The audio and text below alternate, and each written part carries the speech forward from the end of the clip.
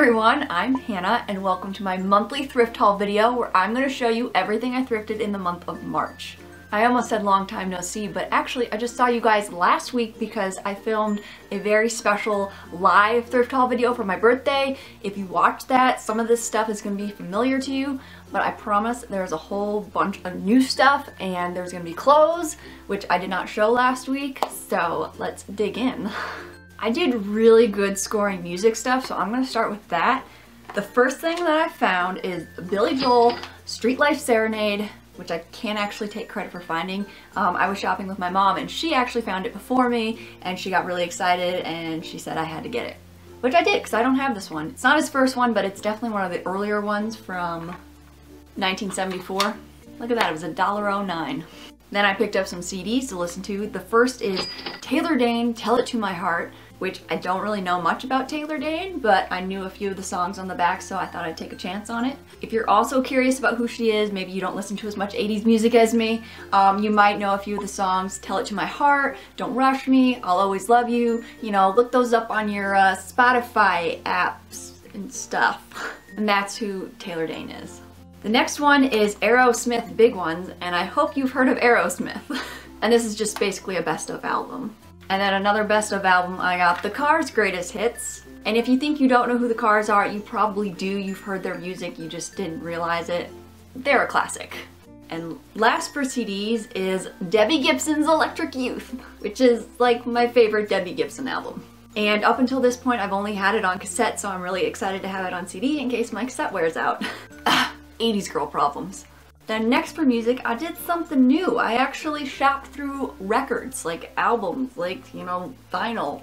It's kind of my least favorite form of music to have to shop for, but I like listening to vinyl, but I don't own a lot. It's like this whole catch-22.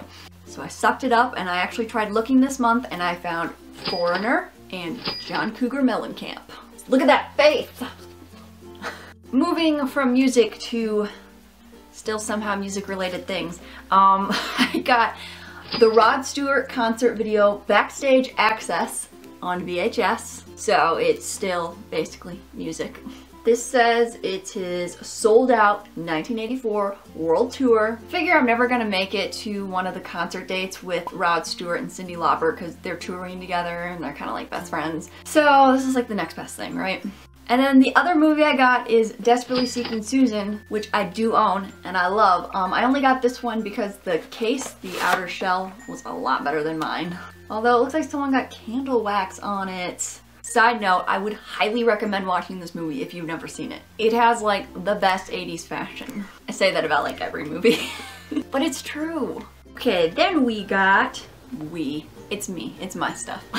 um, okay, this, which is like the coolest paper lantern ever. It has ice cream cones all over it. And it was just under a dollar. It was 90 cents. It's just too cool. Yes, that's an ice cream pun. Then I found this bag of like paper paraphernalia and you had to buy it all together. It's such a pet peeve of mine. Like I only want one thing. So the thing I didn't really want are these gold letter stickers. Um, they're just the lame letters of the alphabet, like T-U-V-W-X. What am I gonna do with those?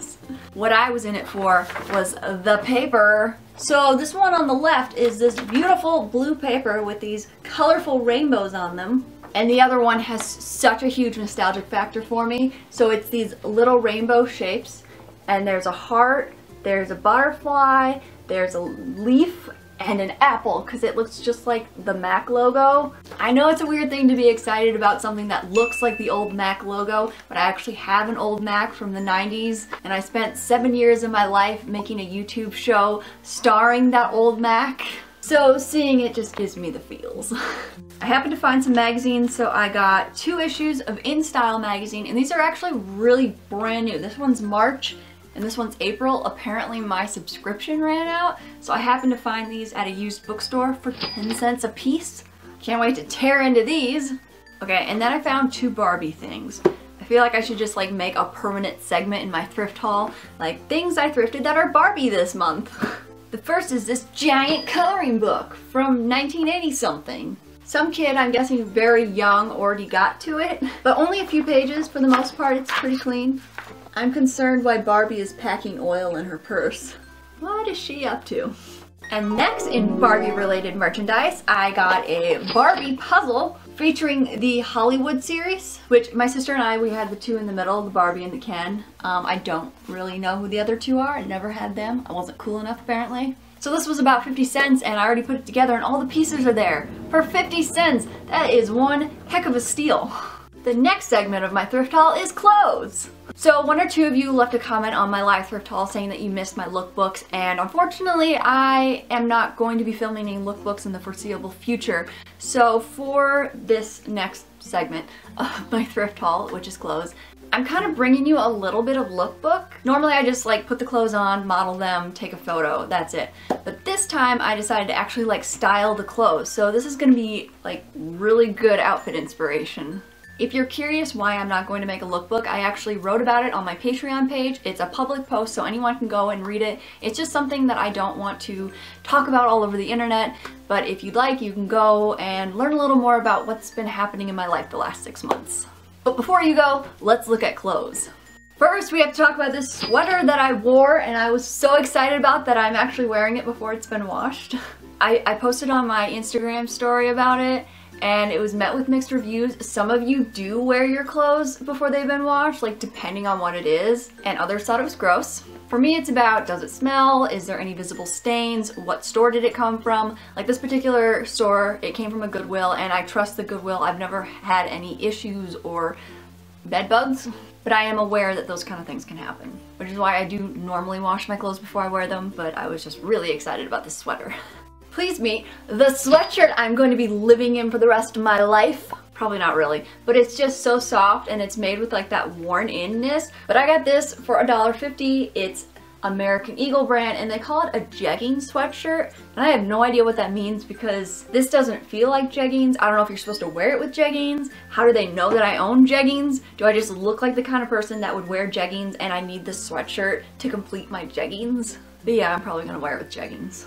The next clothing piece I got is this super bright blood orange vintage dress. I was really obsessed with like these little flutter sleeves, but I'm not really crazy about the pockets and the hemline, so I might do something about it.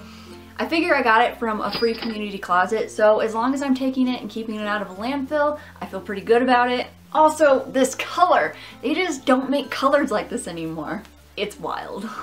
On like the opposite color spectrum, I got a zip up hoodie, which you can't really tell details or anything on camera. It just looks like a black blob. It's by Target brand and it's one that my older sister owns and she's always bragging about how great it is. And so I happened to find this one.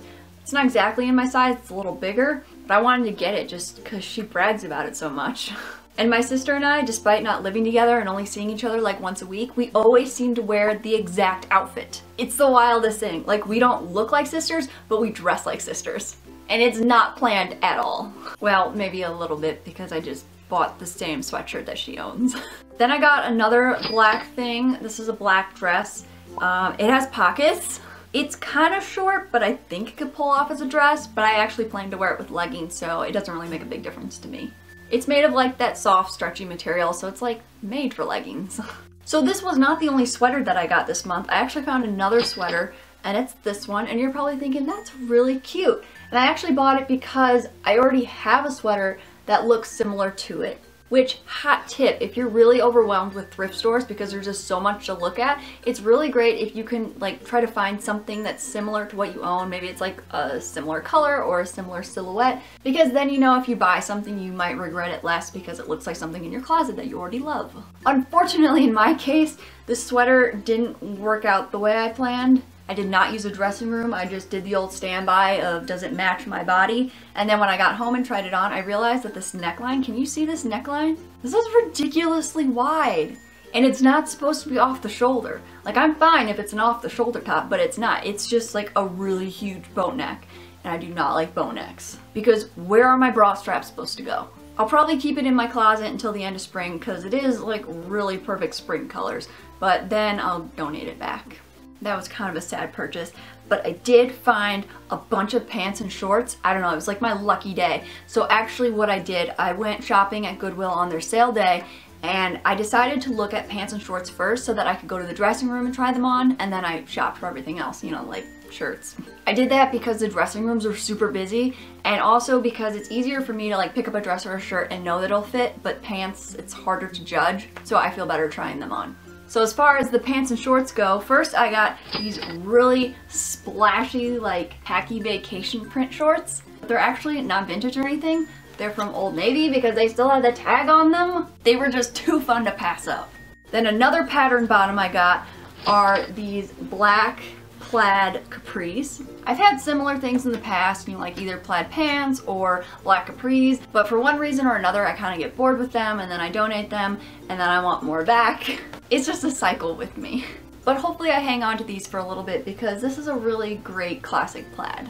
And the last clothing item, which is actually the last thing in this entire haul, are a pair of black and white shorts. A very splashy pattern. I'm not even sure what you'd classify this pattern as. These are Loft brand, which makes me feel so upscale. I do not shop at the Loft.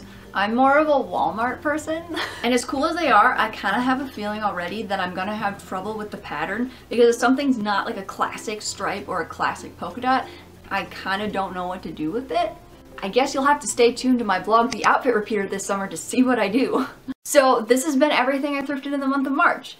Thank you guys so much for watching. Just a heads up that any links or things that I mentioned will all be down in the description box, so you don't need to ask me a million questions in the comments because likely the answer is already in the description box, including what lipstick I'm wearing. If you like the content that I create and want to keep seeing it, then be sure to support it by subscribing and following and likes and comments donating to my Patreon page. Hopefully I will see you guys in future videos and in the meantime, be excellent to each other.